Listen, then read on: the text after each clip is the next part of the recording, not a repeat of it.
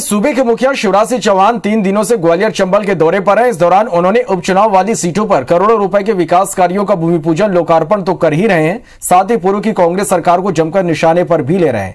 कल शिवराज सिंह चौहान ने ग्वालियर की पूर्व विधानसभा सीट में एक सौ पच्चीस करोड़ रुपए के विकास कार्यो का लोकार्पण और भूमि पूजन किया। मुख्यमंत्री शिवराज सिंह आज भी ग्वालियर चंबल संभाग के दौरे पर रहेंगे। वे दोपहर साढ़े बजे दतिया से भांडेर पहुँचेंगे और वहाँ विकास कार्यो का लोकार्पण और भूमि पूजन समारोह में शामिल होंगे। इसके बाद सीएम तीन बजे गोहद में विकास कार्यों की सौगात देंगे। इधर सिंधिया ने कहा कि मुझे कुर्सी का कोई मोह नहीं है, मुझे लोगों को दिलों में जगह चाहिए।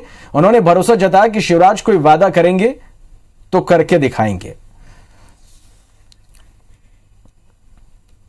मैं दावे से कह सकता हूँ कि आज अगर शिवराज सिंह जी कहें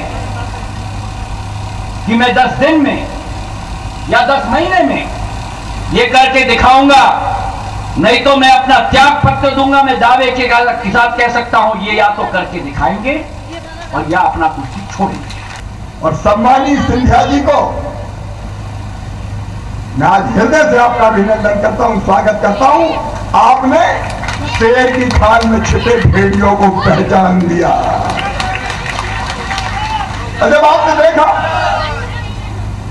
जिनको जनता की चिंता नहीं है इनको विकास की चिंता नहीं है। इनको ग्वालियर की चिंता नहीं है। इनको गरीबों की चिंता नहीं है। किसान व्यापारियों की चिंता नहीं है।